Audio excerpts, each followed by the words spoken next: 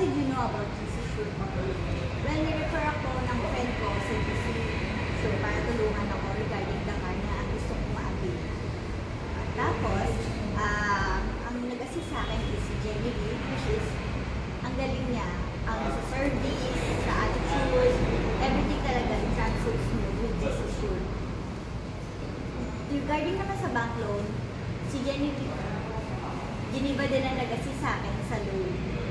Siya ang mga documents and talagang i-assure ka niya na lahat ng mga documents is fully complete talaga. Ko yung makuha ko yung sasakyan.